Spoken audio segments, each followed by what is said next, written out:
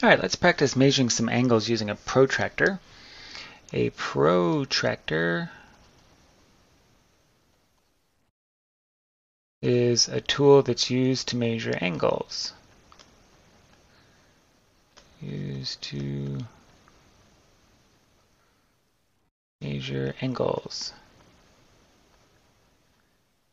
Yeah, so what we'll do is we'll get out a protractor here in a second and we're going to measure, let's just draw an angle in here. Let's say we're going to measure this angle right, whoops, there's a little bit too much angle. let's try that once more. let's say we're going to measure this angle right here. How's that? That's reasonably straight. Yeah? So what we do is we call out our protractor. Looks like this. Yeah? And we set it up so that the center of the protractor is right on, oops, I'm moving my line, not my protractor. Wow, I am just flubbing this up. Let's try this again. There we go. So that the center of the protractor is on the vertex of your angle. In other words, right on that point where the two lines come together.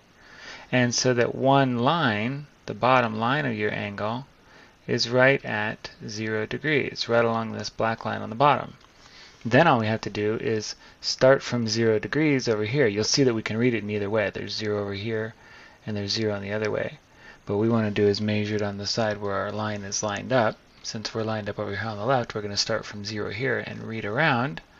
And it looks like we're at just about 135 or 136 degrees. So let's label that. 136 degrees and that tells us that our angle from here to here is 136 degrees. Yeah? So let's try another one. Let's try um, let's try an angle going the other direction. Let's try doing one this way. One over here and we'll go up oh I don't know like here somewhere. Yeah? So then we have our baseline lined up on this side, lined up with 0, and now we start with 0 this way, and we go around 10, 20, 30, 40, 50 to 50 degrees. So this angle here is 50 degrees. Now, question is, do you have to line up the points?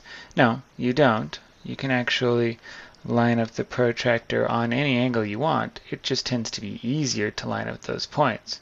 If, for instance, I lined up the protractor with, say, 30 degrees here, let's rotate this around so that our line is parallel with 30 degrees and set our center right on there. So now, then we can see that if we're going from about 30 degrees on around 30 degrees up to 80 degrees, the difference is still 50 degrees. So you can measure it from other locations. It's just obviously far more convenient to line it up with the bottom.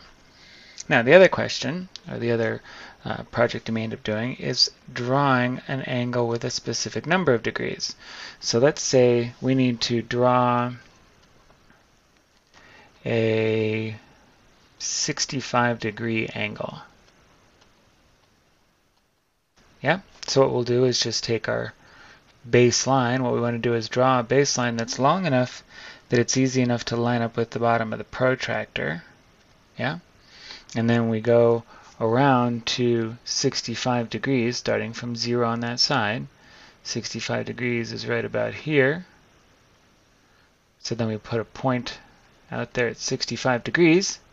And then we just connect that point to our vertex. Oops sorry about that. Not so easy to draw a straight line with this particular tool I have here. Something like that. And then this angle on the inside would be our 65 degree angle. That's really all there is to it. Protractors aren't that difficult to use. They do take a little practice. Just make sure that you line up the vertex with that center point and that you line up one of the lines of your angle with zero on one side or the other so it's easy to identify the number of degrees you're looking at.